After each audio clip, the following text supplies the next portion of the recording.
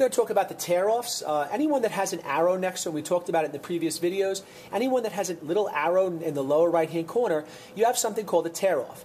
So what I'm going to do is I'm going to click and hold on the shape tool, and notice they come up, but if I slide my arrow all the way to the end, there's that little triangle with this little bar. When I click on that and let go, I keep this dialog box open. And that's real convenient because I don't want to have to constantly go into the toolbar and click and hold. All of my tools are right here. So if I want to switch between a rectangle tool, I click on that. If I want to go to my ellipse tool, now I have everything out here. I'm also going to show you now. I'm going to get rid of the circle by hitting, selecting and hitting the delete button. Click on the square, hit the delete button. Now I'm going to talk to you about uh, the star tool and the uh, polygonal tool. So what I do first, I'm going to click on the star tool. Notice if I click and drag, I get a star. If I let go, there's the star, and it comes up in the colors because that's what I've designated it to be. Now let's say I don't want a star, or maybe the star I want to have more sides to it. So I'm going to hit delete, I select the object, hit delete.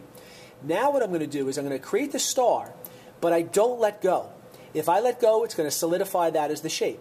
So if I don't let go of it, I'm going to delete that first, and I click on the star tool, which actually is over here now on my tear off. If I click and drag, there's my star. I don't let go. I go to the keyboard. I use the arrow tools on the keyboard. Let's say I want to make a triangle out of this. I want just the three sides. I use the downward arrow. I click. There's four, and there's three. So now I've created a triangle, and now I let go. I'm going to delete that again. I'm going to do the same thing with the, uh, the polygonal tool, the polygons. So I click on that. Again, if I click and drag and let go, I will have my sides. So I have one, two, three, four, five, six sides. If I come over here and delete that, now I go back to the tool, click and hold, and if I go to my up arrow, notice how now I have seven sides, and now there's eight sides. If I was creating a stop sign or something that needed eight sides, I could add nine, 10, 11, I can continue that, or I can get it back to the size that I want, the, uh, the amount of sides that I want.